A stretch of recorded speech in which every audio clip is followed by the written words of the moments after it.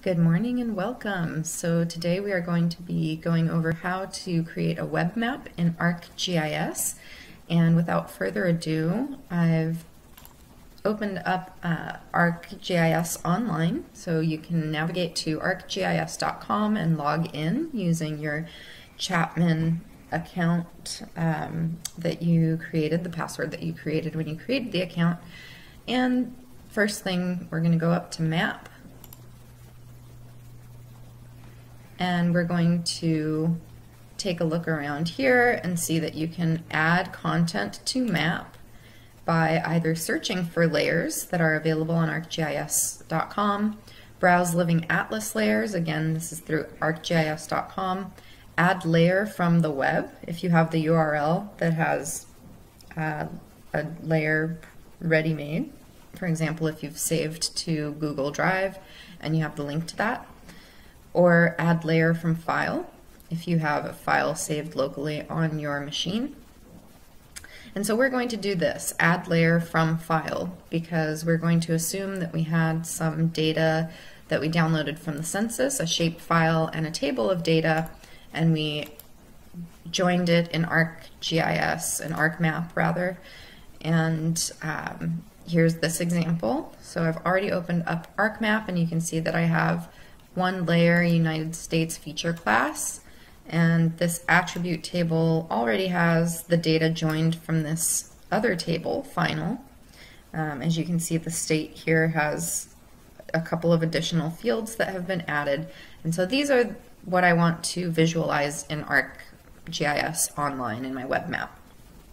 So the data are already joined um, what I need to do to get it into ArcGIS Online is to save it as a shapefile. So you export this as we normally do, but instead of saving it in a geodatabase, we're going to save it as a shapefile. So we're going to export all features using the coordinate system of the source data, and here we're going to save in a Windows folder. So I'm going to create a new folder on my desktop I'm going to call it ArcGIS so that we know that it's for this exercise.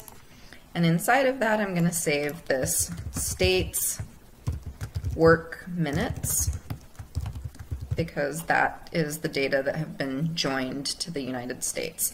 And then under Save As Type, make sure that it is shapefile. Uh, file and personal geodatabase feature class is what we normally use when we save into a geodatabase, but right now we're saving as shapefile. So go ahead and save.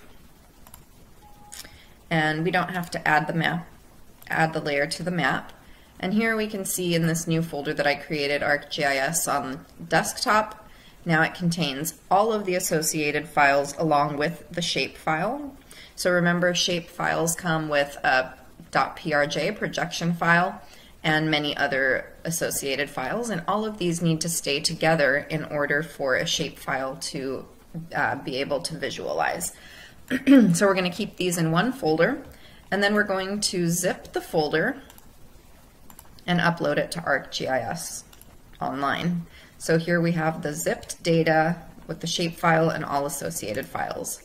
So let's go back to arcgis.com, go to add layer from file, and here you can see it tells us you can upload shape files as a zip archive containing all shape files, a comma, delimited, comma delimited, so CSV or text file that contains address, place, or coordinate locations. So that would be your latitude, longitude, um, or GPX data. If you've collected data on a GPS unit, it usually um, comes in a GPX format, and so on. So we're going to select the zipped shapefile and import the layer. And here we see the states have visualized, it defaults to these unique symbols, um, and here it's showing state name. That's obviously doesn't make any sense. We don't need a different color for each state. So let's go ahead and visualize the attribute that we're interested in. Um, so we're going to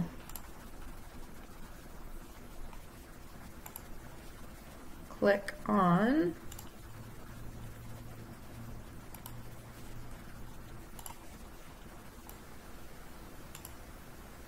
Okay, so uh, I lost it for a second here because I couldn't find the field. Uh, the table is now alphabetized, and so the field I was looking for at the bottom of the table is actually in alphabetical order. So here we have married women, and that's one of the fields that I joined into the data, and it contains the number of minutes worked by married women in each state. So that's the attribute that we want to show. and you'll notice it defaults to whatever data classification scheme um, they choose by default, but we're going to change that subsequently.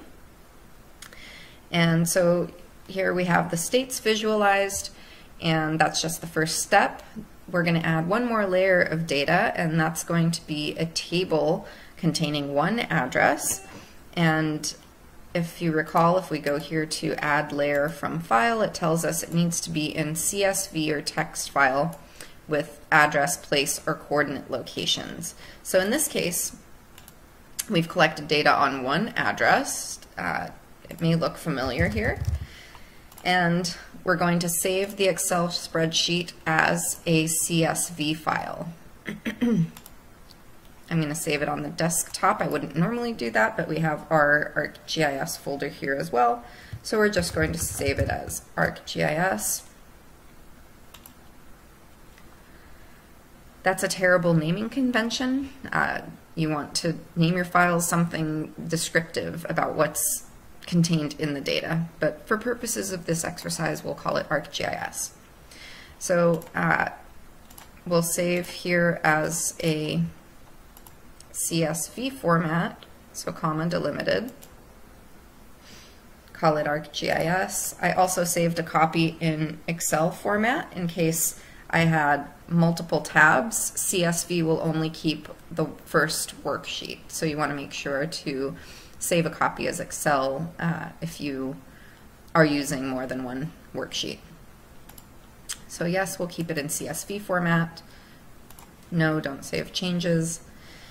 And now we're going to do the same thing. Add layer from file, choose the CSV file that we just saved and import.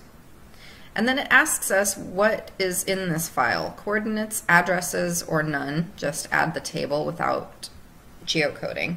We're going to add addresses or places, and because we've labeled the fields in the Excel spreadsheet, it can easily find address, city, and zip code. Otherwise, we would select here which of the address field, which of these it corresponds to.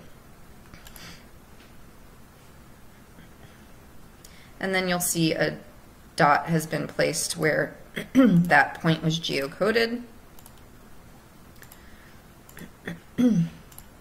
and we can edit the symbol, edit the color, the size, transparency, and so on.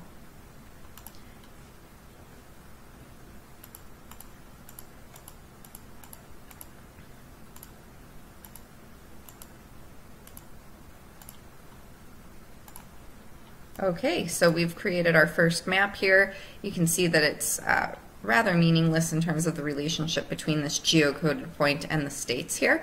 Um, but we now know the two ways to upload data to arcgis.com, and that is as a shapefile already containing your data joined and um, zipping up that shapefile with all of the associated files, and also uploading a table as comma delimited, so a .csv file containing latitude, longitude, or address information.